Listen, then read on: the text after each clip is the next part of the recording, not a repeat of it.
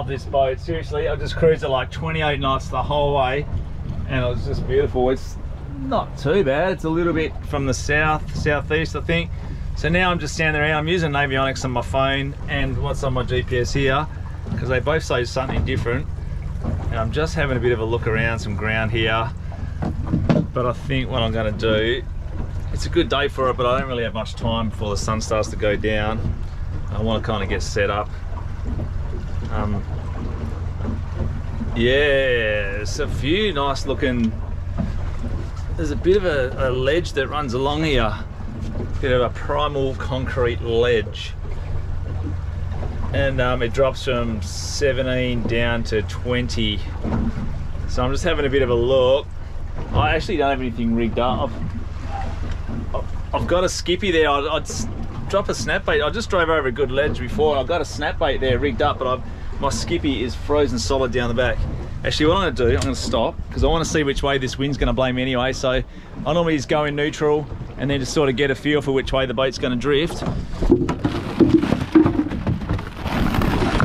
While I'm doing that, I'll get this skippy out and I'll whack him in the belly pot there so he can defrost a little.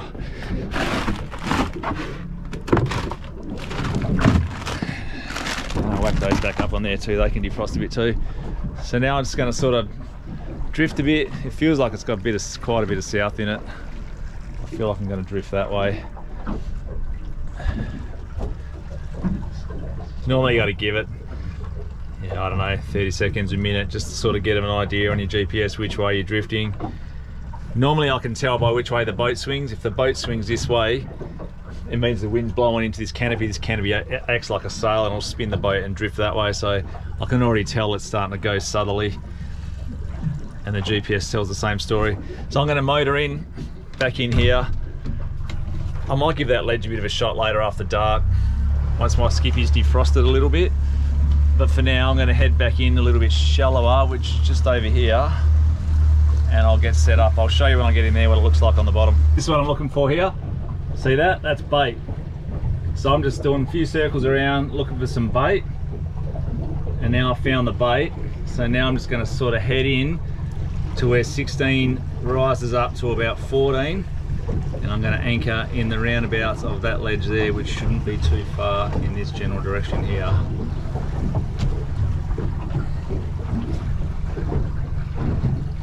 It's starting to come up a bit now to 15, yeah 14, there you go.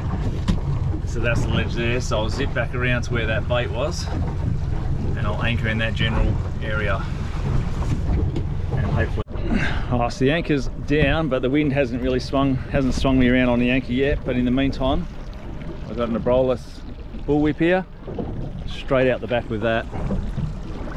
While the boat's drifting around, we're still going to move around a little bit here and there, but it always pays to just have something out the back and be ready, because sometimes the snapper will hear the noise of the boat and they'll come up to have a look, and it pays to have a plastic rigged up, ready to go. It pays also not to have your line wrapped around the reel handle and stuff as well because if you do hook up it's not going to end well for anyone. Cool so i'm pretty happy with how we ended up. The ledge is pretty much just over here. I can't really see it. Sometimes you can see the water here but here is actually quite reefy. It's not. My general ledges are a ledge that drops off on the sand. Here it's a ledge that drops onto like sort of platy coral and some more fluffier sort of bottom so it's a bit harder to distinguish but I know the ledge is not far over here maybe 10 15 meters max just behind me over here. My burley's going to run out that way hopefully if the current's still running that direction or it might be awkward and the burley might be running that way which will be a real pain in the ass but we'll deal with that when the time comes. Okay first bait just half a muley pilchard sardine whatever you want to call it. See I got hook exposure there. The point's coming through just through the eye back in through the meat. Good point exposure and I'll just whack that out. That I'm going unweighted.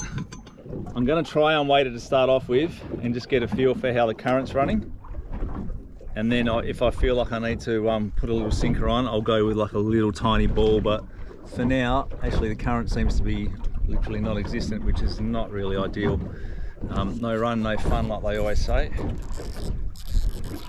See how we go.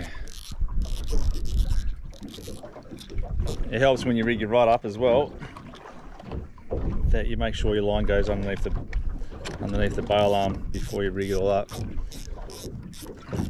Rookie mistake right there. We're all good. We're back in business. I'm casting forward of the boat because I know the current is running this way and that'll give it a chance to sink and sink down before it gets here. As the current takes it, it'll sink down, sink down before the line pulls tight. And then by the time it's out the back where I want it, if it does come back up in the water column, it's traveled all of this distance and pretty much floated all the way along the edge here, gone down and then come back up again. And then I'll wind it in and cast again and see how we go, whether I decide to put a sinker on or not. For now, I think I'm okay. So now I'm going to wind this soft plastic in and cast this back out as well. So I'll just twitch this back in slowly. You don't get carried away with these plastics, just go slowly, slowly. Sometimes you can get too carried away and go too fast with them. This one's really got a 1 8 TT head, so it's really lightly weighted, so it's just going to dance pretty much mid water, which is what I'm looking for. if there's a bit of current running, it takes quite a while for these to sink. They kind of do like a real slow sink, which is perfect. While I got this up, I'll whack a bit of scent on it. a bit of strikers, strikers lure scent here. I'll just smear a bit of that. The beauty of these abrolhos um, lures is all these ribs. The scent goes in there and it just stays in there, doesn't come back off. So to be fair, that lure probably still stinks from last time, but so I'll just whack this one out, give it a good cast right out, and just let that sink. Nine times out of 10, if the snapper are hitting it, they're gonna hit it on the fall. They like it as it falls.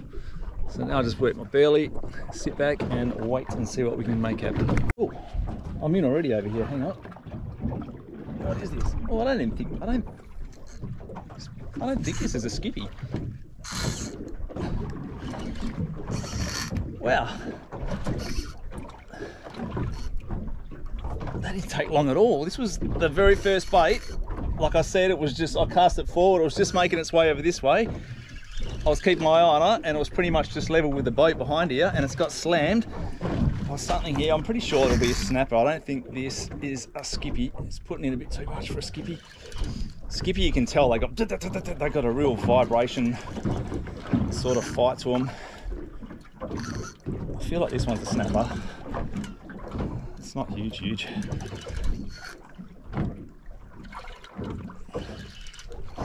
It's actually putting in all right. Might be bigger than I think. Oh, it's actually got quite a bit of weight to it. Yeah.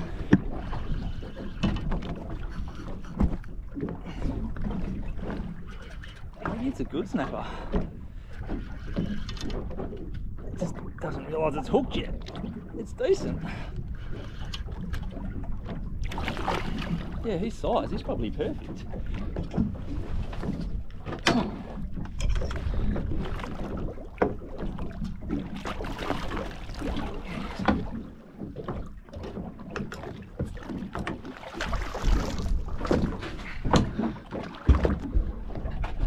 beautiful little pinky. He'll go.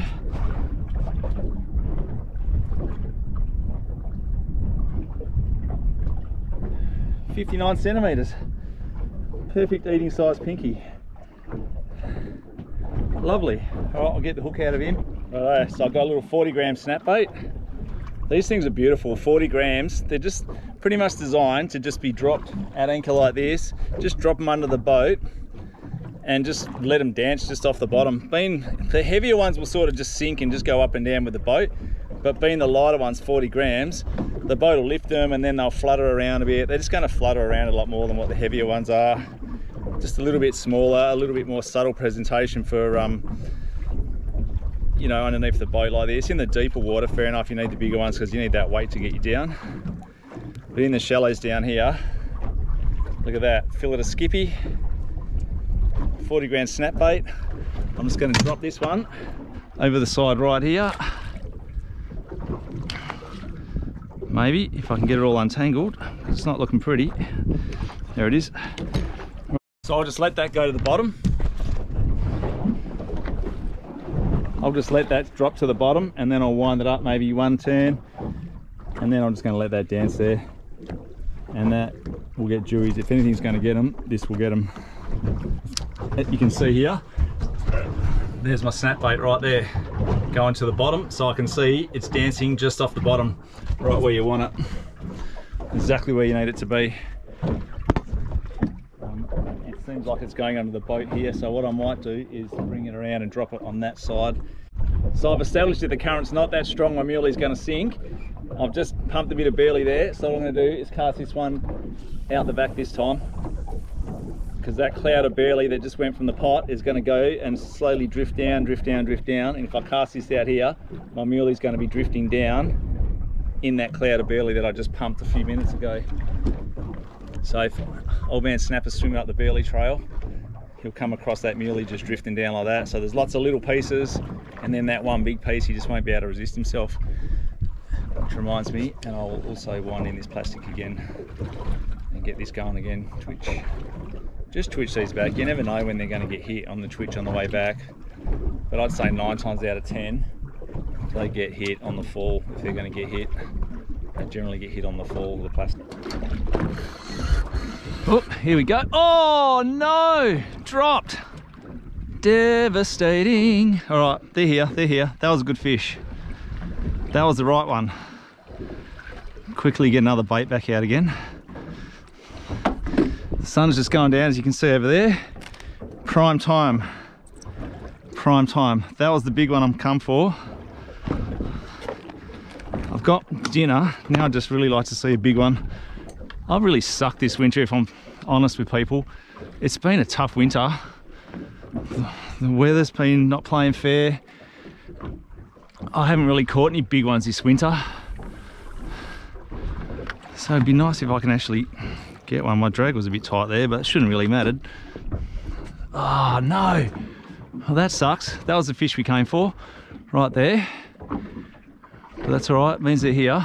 A bit of burley. I'm doing this nice and quietly like I said before, don't make too much noise, just bang. I like to just sort of twist, just twist and grind rather than bang, bang, bang. Just keep it sort of quiet. If you get too noisy, you can scare things off. Here we go.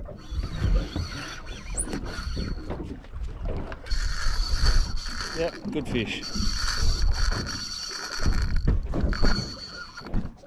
good fish. Hopefully I can stay connected. I knew they were there, you could, that last bite, I've been seeing them on the sounder. They're all over the bottom of the sounder. I don't think there's, they're not snapper down there low, but the skippy I think has just been destroying my little snap bait there. I was hoping for a sneaky jew. Hoping for a sneaky jew but I'll be happy with a nice pink. I've already got that nice one in the in the esky there anyway, so I'm happy. I've got my dinner sorted. Actually, I might even do a catch catch and cook for my lunch tomorrow. Lee's back. Lee's been in Bali for the last two weeks. Oh, oh, I'm in on this side now. Look at this. Oh no, now we've got issues. Now I've got a double hook up. The snap bait's hooked up. I told you I've seen stuff on the sounder, and now the snap bait's gone hooked up.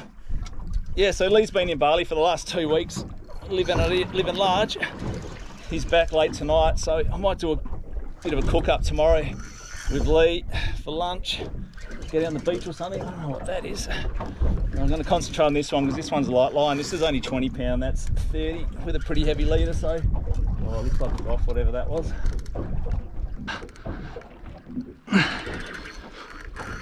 This one's a pinky for sure.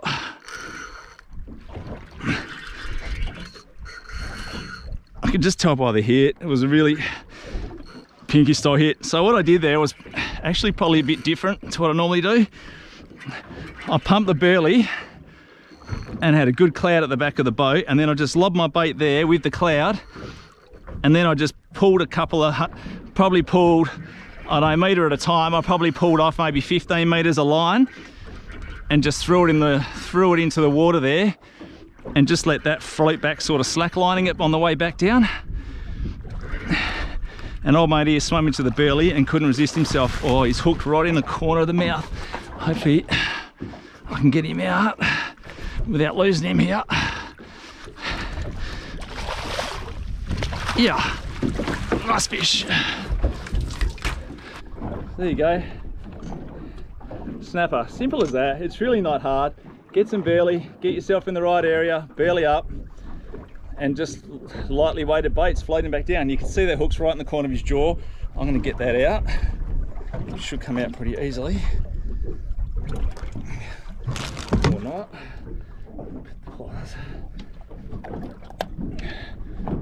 And he can go straight back in because he's going to swim. No problems at all. He's fresh. Oh, yeah, he's gone.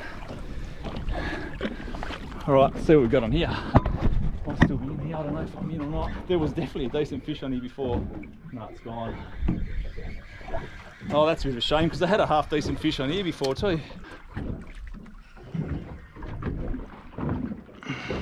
What have we got on here? Something on. What's this? Oh, this one might be a skippy. See that? That's really skippy like. That's what's been smashing all my baits over here. Yeah, this one's a skippy. That's all right though, because I'll keep him. Oh no, he's a little pinky. There you go, a little baby pink.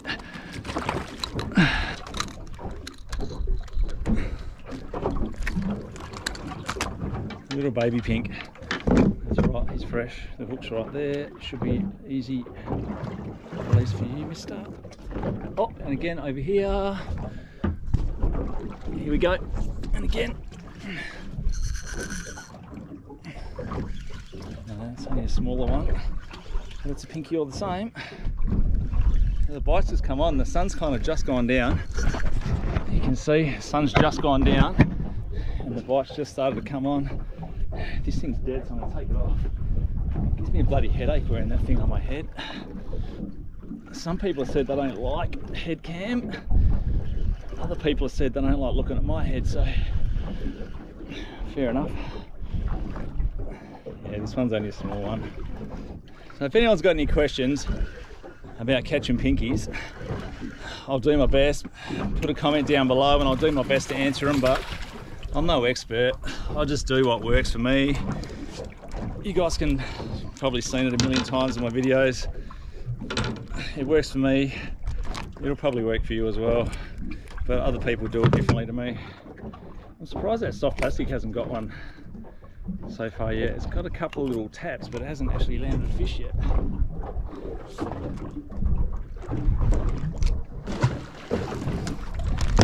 You can go back. I'm to whack a fillet of skippy this time. Okay, this is it. I'm to put this fillet of skippy and let that wash waft down, see if I can see what happens. I feel like I might be able to get a big one on that, or I'm not, who knows. Beautiful. Lovely. Just delightful.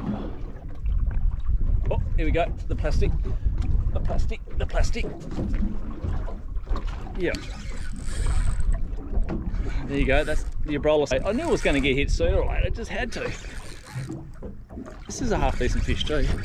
I'm on a bit, heavy, bit, bit heavier gear here, this is 30 pound.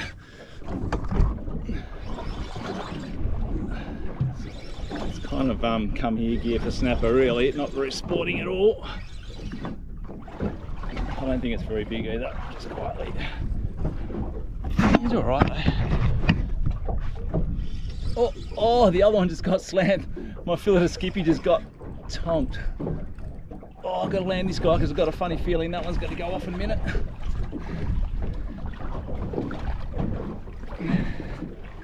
There he is. Oh mate, there. He's got the Abrolhos set in his mouth.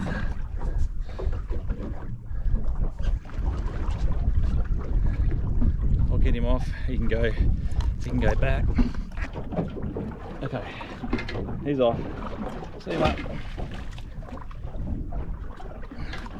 I've got a funny feeling my fillet of skippy just got pounded there and is gone. Almost convinced that's what's happened there. Alright, you know what? I've had enough. I've got a fish that I needed. I'm to wind this in and I'm going to go over to that ledge I sanded on the way in. I've got one fillet of skippy left on there and we'll go for a one drop miracle, see if we can come up with something over here on this ledge. I don't think it'll last long. Just winding up the old boomer here. So love this anchor. It just, it always comes back.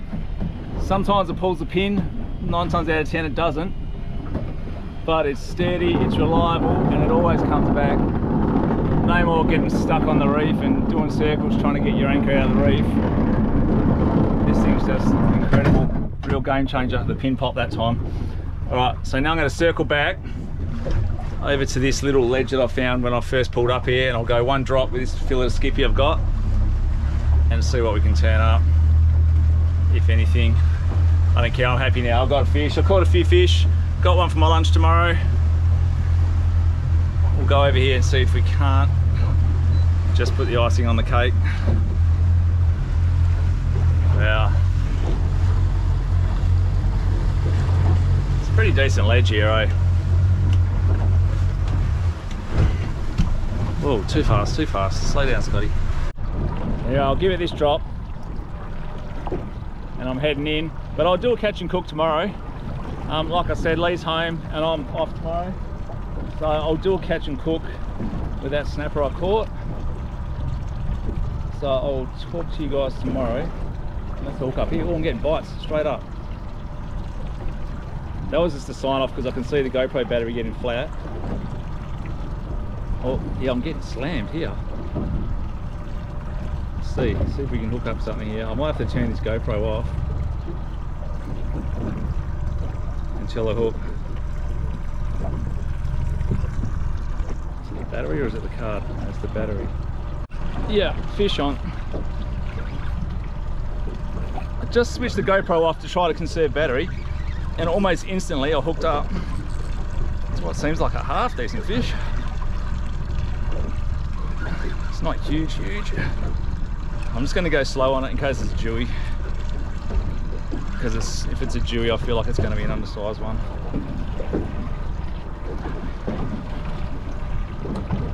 What do we got here?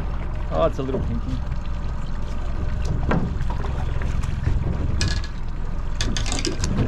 It's a little pinky. Got a little snap bait in his mouth.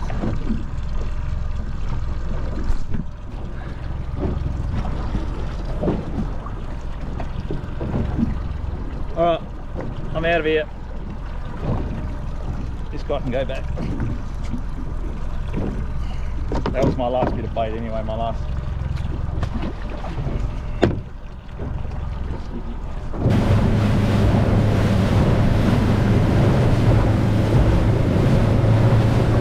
How's this moon? Big full moon. Traditionally not the best fishing winter right tonight. I'm just taking a minute just to appreciate. Just kicking back. I've just been cruising for the last 10 minutes.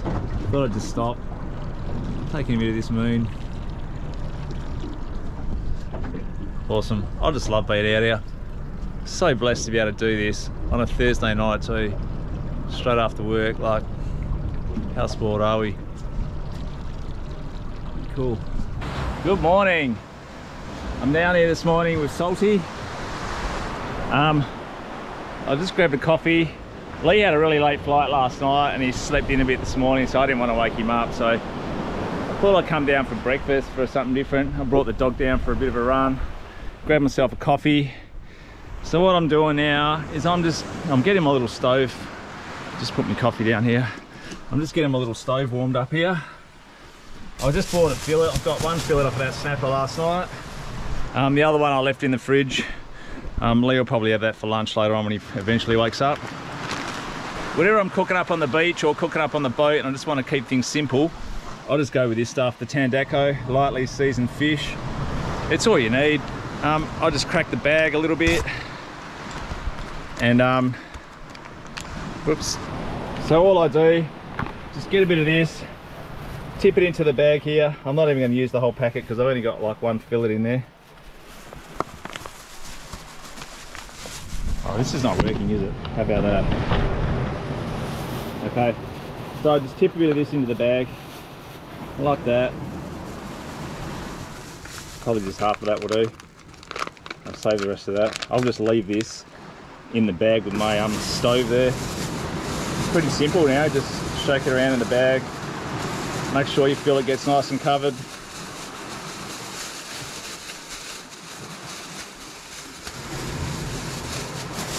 Pretty simple.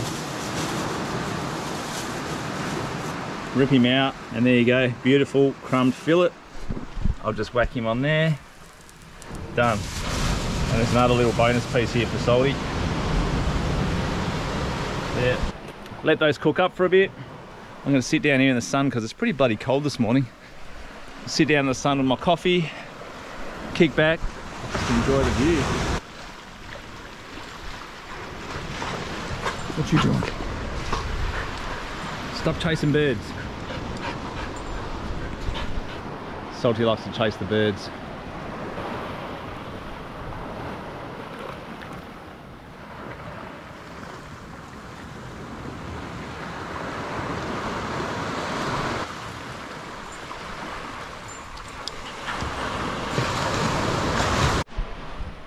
This little piece is already nearly cooked. I didn't bring the oil with me.